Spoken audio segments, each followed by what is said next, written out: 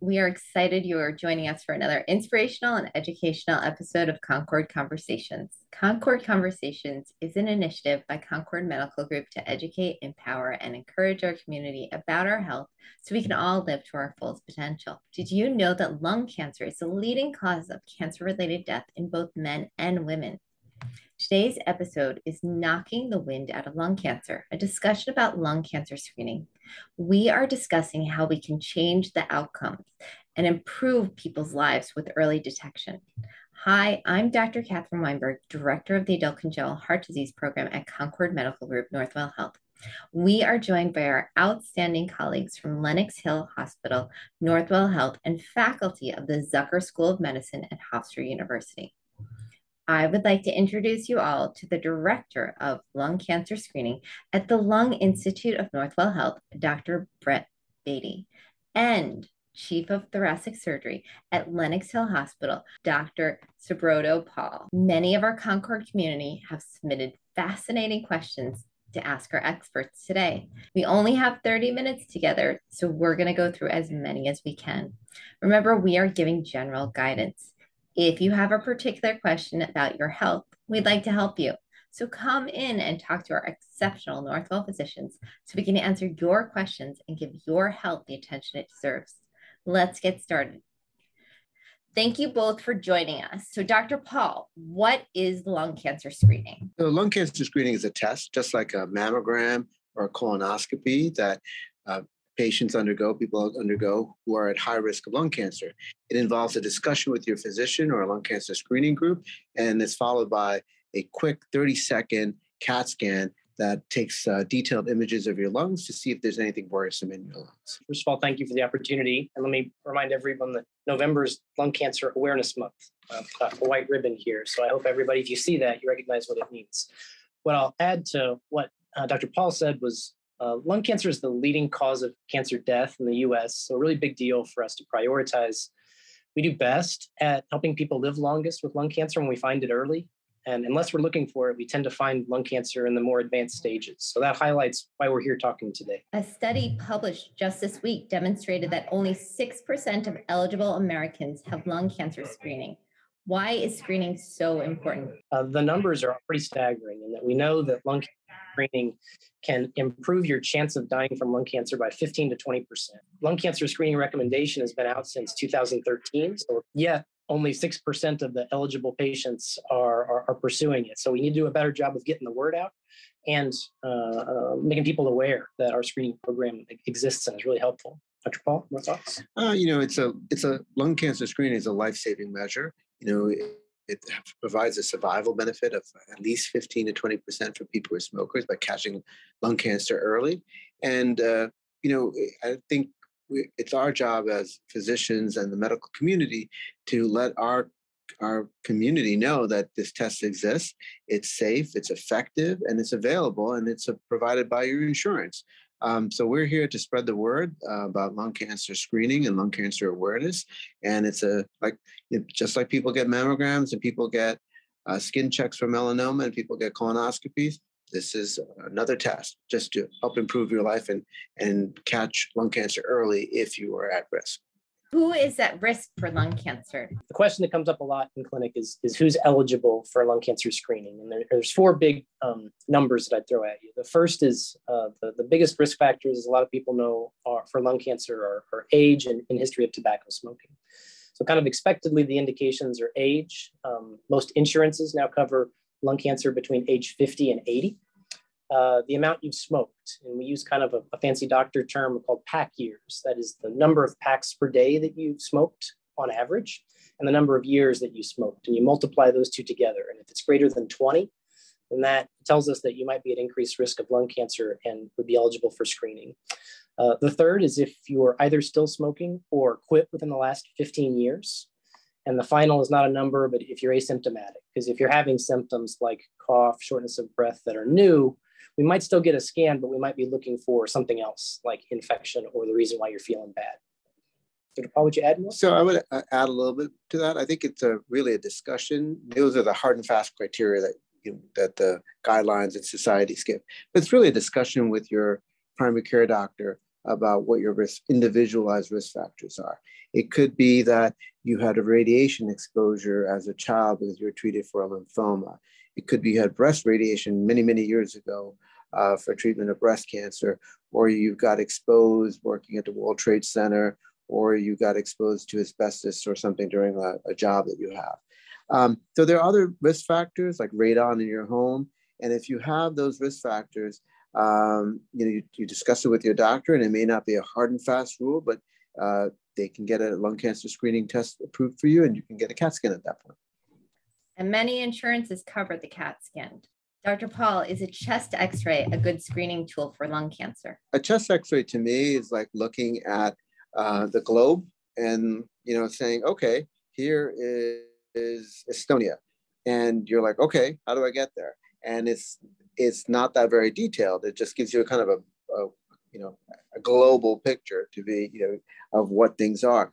Uh, a CAT scan to me is like using Google Maps or Waze It gives you a detailed roadmap as to where you're going, and that's what a CAT scan is. It gives you a detailed picture, shows you all it all you know, you know not only your lungs but your heart, your blood vessels, your thyroid, and it's a very detailed imaging of what you have. And oftentimes things that are missed on an X-ray you can see on a CAT scan. And all the studies that have proven lung cancer screening to be effective use a, a low dose CAT scan, and they kind of compared it already to X rays, and that's why a CAT scan is so much better. Many people ask about that. Am I not going to be glowing in the dark because I'm getting all these CAT, CAT scans? You're going to, Doc, you want to radiate me? Come on. Uh, but the CAT scans that we do now are, you know, are low dose. You know, they're not much more than an X-ray. And if your doctor thinks that you're going to benefit from it because they're going to catch a lung cancer early, it's definitely worth it.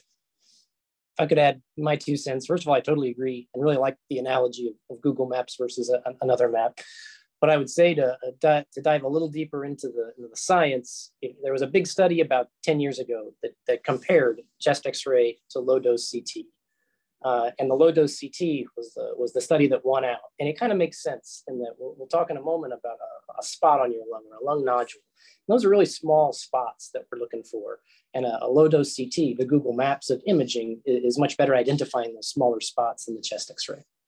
Are there side effects to a yearly CAT scan for lung cancer screening? Yeah, I think that question gets at um, the, the risk benefit that you'll talk about with your doctor. I, I think the risk we, or the benefit we already discussed, and that what we want to do is find a cancer early so that we can treat it.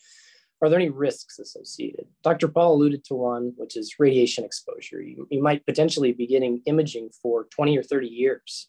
That's the reason why we uh, try and give you the lowest dose that, you, that we need to see the pictures, because radiation exposure increases your risk of lung and other cancers. Uh, the second is what we might see when we look on that CT scan. When we, when we do a scan like that, because we're doing the Google Maps version, we, we see you from the, the, bottom of your neck to the top of your stomach. And we see more than your lungs. And sometimes we see things that we need to pursue that aren't cancer. Like look at your heart for heart disease, look at your thyroid for nodules, or some of the other organs. Uh, that's the second. The third is what we call false positives. Sorry for the doctor term, but we find something that worries us that it might be a cancer or something that we need to pursue. And we either get another x-ray or another ct uh, or we actually go after it uh, with, a, with a biopsy to find out what it is and it might not be cancer. So i think those are the top three. Paul would you add anything? Uh, i would add that you know these you know google maps or these cts are so uh, detailed. And most of the studies that people who undergo the CTs, they find not only a benefit in, in detecting lung cancer, but they actually get what we call an absolute mortality benefit, meaning the people that were enrolled in the uh, trials live longer, you know, 10% or more than people who, you know, were just getting an x-ray just because they found these other things that otherwise wouldn't have been found. And they found coronary disease, they found thyroid disease, and uh, and you know people got other life-saving interventions like coronary stents like cardiac surgery they got their valve fixed they found thyroid cancer. Uh, so there are a lot of benefits and you know you know any test can find things that sometimes are not going to be very you know specific to what you have or it may lead you down the wrong road But you know, as physicians and particularly in any lung cancer screening program, there's a group of us, and we make thoughtful decisions about what we're going to do. And um, you know, your physician and us, we would never put you through something that we didn't think would be worth it for you. Dr. Paul, we all know that smoking is bad for you. How bad is it really? It's bad. It's super bad. Uh, you know, uh, a lot of my friends who are not obviously physicians ask me, so um, you know, what can I do? Can I eat this steak? Can I, you know, uh, you know, can I like have this pie? Uh, I like pies. and I you know, um, my favorite is key lime pie. And you know, the answer to all these things are uh, yes, I can have my pie in moderation. I can have a steak in moderation. However, you really can't smoke in moderation. It's not a good idea. It not only increases your risk of lung cancer, but coronary artery disease, other cancers. Um, it destroys your lungs. So your lung function deteriorates over time and you can develop emphysema or COPD and wind up, you know, needing a lung transplant. Uh, as a thoracic surgeon, uh, you know, I have seen all the consequences of smoking, you know, lung cancer, cardiovascular disease, needing a lung transplant. And it's just, you know, the answer is no it's just bad for you. Just you got to quit. And it's easier said than done. And there's a lot of programs there to help you. And I think Dr. Bade can kind of uh, go with that. Yeah, I was going to add three points, and we as we as we shook the table, I think Yoda agrees that first of all, um, there's no safe amount of, of cigarette smoke. Uh, uh, to take that a step further, there's really nothing safe that should be in your lungs other than clean air.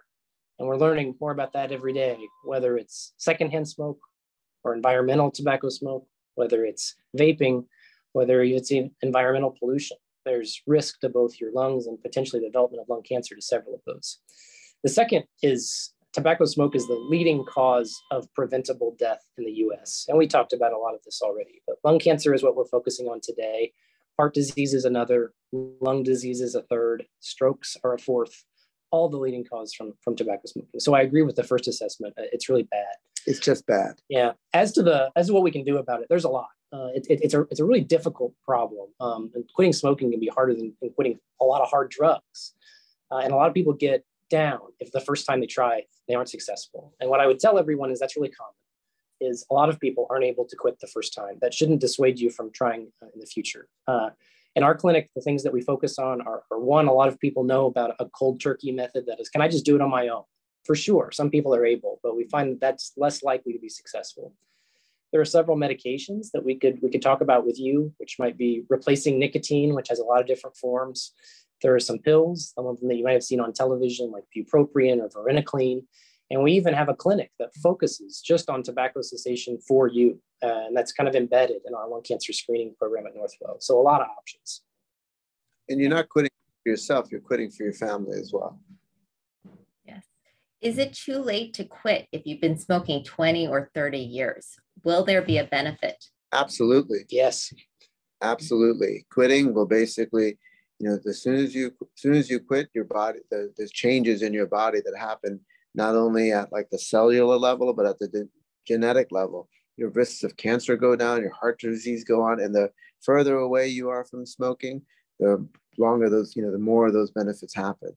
Uh, so, you know, quitting at any moment, at any time is beneficial for you. It's never too late to quit.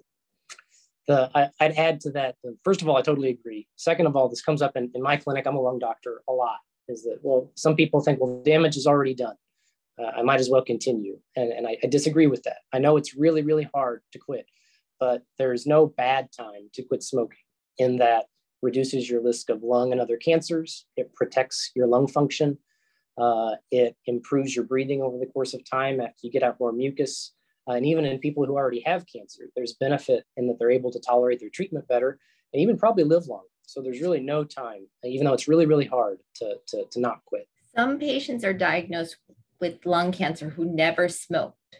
What are other risk factors for lung cancer besides smoking? And we highlighted those before, and I want to add to our list because that's a really important question. In that we talked a lot about cessation of smoking and smoking being your single biggest risk factor for lung cancer. But as we see, uh, even outside of people who smoked, lung cancer is a big deal. Even in of itself, it's a big uh, big cause of lung cancer.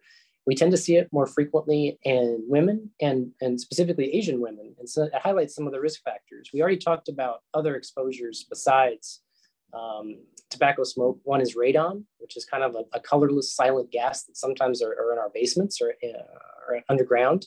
Uh, occupationally, uh, asbestos, something you might have worked around. Uh, family history, that is, even if you were a never smoker, if someone in your family had lung cancer, you're still at increased risk. And some of those genetic um, uh, deviations that I talked about that we tend to see more commonly in patients who are Asian and patients who are women. Uh, Dr. Paul? So I think this kind of highlights why it's a, a important to have a discussion with your doctor. So if you never smoke, but you have some risk factors, uh, a good solid discussion of the risk factors with your physician can lead to you being screened for lung cancer. Uh, currently, we do it by CT, but our scientists are at Northwell, at Cold Spring Harbor, are working on other means of uh, trying to establish lung cancer without a CAT scan. And future variations of lung cancer screening may just be a blood test. And they're not in they're not in practice now, but that doesn't mean they won't be in the next five to ten years. Okay, there's a question in the chat box. How often should I get a lung CT scan? The recommendation is if you meet the criteria or you've had this discussion with your doctor and we've decided to pursue screening, the recommendation is between ages 50 and 80.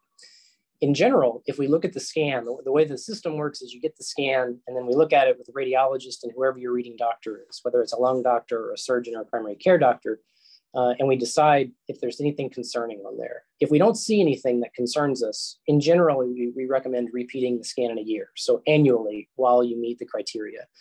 In some patients, we see spots that worry us, and we want to keep a little closer eye on it. Most commonly, we would repeat the scan a little bit earlier than we would otherwise, say at three or six months.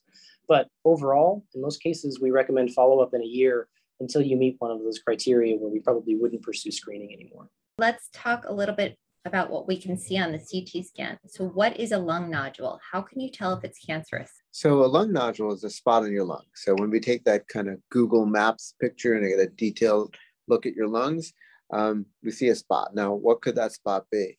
Um, it could be a whole variety of things. First, it could be something infectious. You know, you got a cold or you got a, a pneumonia and a odd little pneumonia, have a little infection over there. It could be some inflammation. You went through and or inhaled something and it created some kind of riled up something in your lung and you got a little inflammatory spot. It could be some old infection that caused some scarring in your lung. Uh, so there are all these benign things that it can be, and most of the things that we find when we do lung cancer screening are benign.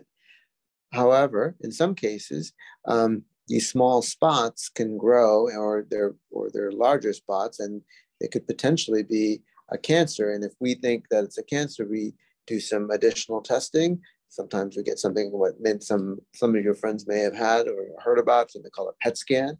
And sometimes based on those results and the results of the CAT scan, we decide to do a biopsy or, or take a portion of a little piece or a sample of the nodule to get an idea of what it is. Where would you and add something yeah, to I, I, I love the description and that we discuss, discuss this a lot in clinic again. And, and the reason it comes up a lot, and I'd like to convey it to everyone that in the people who are getting CT scans, low dose CT scans, or someone in your family is, it's really common that we see one of these nodules or one of these lung spots. And it can be pretty scary. And that if we look at a scan in and of itself, we can't distinguish in a lot of cases what is one of those benign scars from maybe you had pneumonia as a kid maybe you were exposed to something that your lungs got inflamed and that spot's there forever but that's not cancer in that big study that i mentioned about 10 years ago that kind of described how we looked at lung cancer screening about one in four patients had some of those spots almost all of which 90% or higher were not lung cancer so I want everybody to know whether it's inside or outside your lungs, it's relatively frequent that if you get a scan, we're going to find something. Kind of highlights how important it is to, to talk to it with your doctor before you get too um, anxious because a lot of those spots are not going to be cancer. Would you like to discuss a little bit more about a lung biopsy, Dr. Paul? How are they performed? So there's a variety of ways that we can do it. Uh, some of them are done by CT guidance, where you're essentially in the CAT scan machine and with a little local anesthesia, they kind of uh, interventional radiologist to stick a little needle and take a little sample of the cells from the nodule. Uh, so that's one way. Another way is our uh, pulmonology colleagues or interventional pulmonology colleagues use a bronchoscope, which is similar to a colonoscope or an, e- or an endoscope, where they basically go into your airways and kind of travel out all the way out to where the nodule is and stick a needle in there and get an answer. Um, now we have this uh, robotic technology to do it, where we have a robotic arm essentially that uh, basically gets put into your airways, and then we guide the robot using, um, you know, essentially the same guidance system that is in the MX missile and the nuclear intercontinental ballistic missiles that we have, just in a miniaturized little version of it uh, on the table in the uh, endoscopy suite that we kind of use to help guide us there, along with CAT scans and these navigation methods. We call it navigational bronchoscopy uh, with the robot, but literally that's where the technology was initially developed to launch a nuclear missile and get it to a spot. But that's exactly what we're doing for lung cancer. We're targeting a nuclear missile at it to get an answer out of it. So that's uh, typically how we do it. Sometimes those methods don't give us an answer. 80% of the times they do, 20% they can't. And if in the, those circumstances, we sometimes recommend surgery. And surgery, usually we do robotically, again, do a couple of small incisions with a little camera and robotic wristed instruments that kind of mimic my hands like this.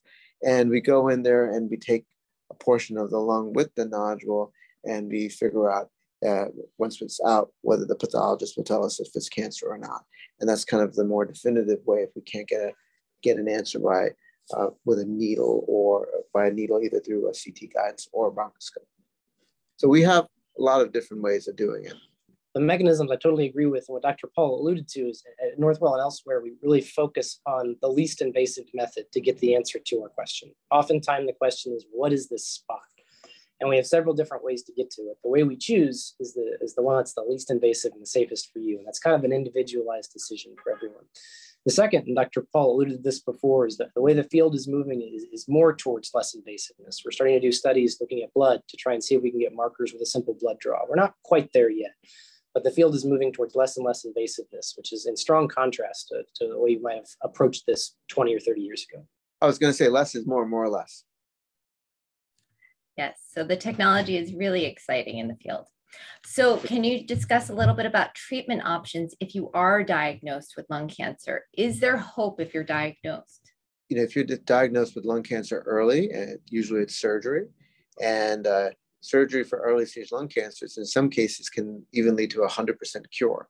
Um, and if it's really, really early. So the earlier you get diagnosed, the earlier you get treatment, the better you're going to be.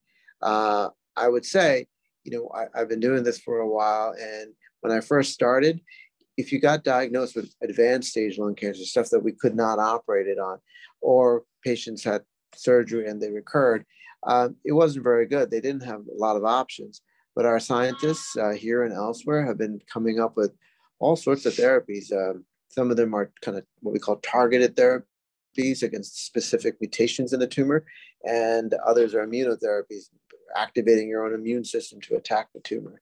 And what I've seen is like many of my patients, even if they have metastatic disease, are living five years, 10 years. When one drug doesn't work, they get another drug. Then that drug doesn't work, scientists come up and the FDA approves another drug. So we see something almost every other, I would say every other month, a new drug or new indication for for uh, either a targeted therapy or immunotherapy for lung cancer. Um, so it's obviously not good to get lung cancer, but it's better to have it now than say 20 years ago because you have a lot more options to treat it. And our goal is to either cure it or just or to make it a chronic disease that you live a lot live with it until something you know until the planet explodes. I don't know, who knows. Uh, but I, will let Dr. Bade comment. Yeah. There are a lot of stereotypes associated with lung cancer. One of those is often that if you get it, well, I don't have a lot of options, and, and the universe is bad, and that's no longer true the, the, the, the surgeries are getting better. The radiation, if you need it, is getting better. And what Dr. Paul said is the drugs are getting better and more numerous, whereas previously there might have been one. It's kind of what we call cytotoxic chemo, the kind of uh, one that a lot of people reference. It makes you tired, your hair might fall out, and that's not the only option these days. Targeted therapies, which can be in the form of pills, uh, immunotherapy, which uses your own body to, to kill a cancer inside. It, it, it's a different field than I think what a lot of people are aware of. There's a couple questions in the chat box that I think are interesting. One is other than shortness of breath and a cough, what are the symptoms of lung cancer? Shortness of breath and cough are both important ones. The one I'd add about cough is that sometimes people who either have smoked or used to smoke, they, they cough a lot. So what really gets my attention, if, if you point out, is the cough has changed somehow. That is, you have a new cough or the cough gets either more intense or even more specifically if there's blood in it. So the, the couple of answers to that question is most commonly uh, a new lung cancer would present with shortness of breath as the airways impacted, cough, cough that's different or producing blood, or if you're losing weight unexpectedly. Um, so what I'll add is that unfortunately, the tumors that grow inside you, you can't feel and you can't see. And that's one of the problems with lung cancer that if it grows and you develop symptoms, you're really getting at an advanced stage. So the idea of lung cancer screening is to really catch it early. Uh, so that we can treat it with surgery or some minimally invasive means that you can live longer. And you know the the so a lot of patients are asymptomatic. They just you know they, they don't have any they don't feel anything and they just happen to get it caught on different CAT scans. That's why it's so important that if you meet your criteria for lung cancer screening, uh, the strict criteria set out by the different societies, or you have an individual discussion with your doctor and you have other risk factors that require you to get a study. It's so important to get it because you may not have any symptoms and uh, before it's too late, and we want to catch it early. Okay, there's a question in the chat box about 9/11. So does being exposed to toxins from 9/11 increase your risk of lung cancer? You know, we think the answer to that is yes. We kind of alluded to this before that there's really nothing healthy from an aerosol perspective that should go in your lungs besides air. Uh, exposure from 9/11 is a great example, and that afterwards, with all the ambient um, pollution, dust, smoke, uh, people both develop lung diseases, and some of those lung, lung diseases are lung cancers. Uh, so even broader than 9-11 specifically, the secondary exposures are, are always worrisome. And the short answer to the question is we think yes. Last question. If you had one action step to recommend to our viewers to improve their health and start today, what would it be? I'll reiterate that I'm a lung doctor, and uh, the single biggest thing is if you're if you're continuing to smoke, so let us try and help you work on it. And that if we can get your smoking down to zero, then we can protect your lungs, protect your heart. We can't reverse a lot, but we can make things a lot better. That'd be number one. So my number one thing would be I would recommend getting screened. Um, lung cancer screening is just like getting a colonoscopy, getting a mammogram, getting your skin checked to see if you have a melanoma or suspicious mole. It, it's safe, it's effective. It um, not only protects you from lung cancer, death from lung cancer, but from other diseases as well. So get if you're eligible, get screened not only for yourself but for your loved ones as well you want to be around for everybody. Well, thank you all for joining us for another inspirational and educational episode of Concorde Conversations. A very special thank you to Dr. Bade and Dr. Paul for joining our conversation. We appreciate their expertise to educate, encourage, and empower our community. As part of the Concorde community, we hope you will share in our mission. Please pass along our emails and webinar links to your friends and family. In addition, please like and subscribe to our YouTube channel. We know you have additional questions about your health and we want to help you. So come in and speak with our extraordinary Northwell physicians about your health. We care about your health. We care about you. Thank you so much for joining us today. Thanks, everyone. Thank you.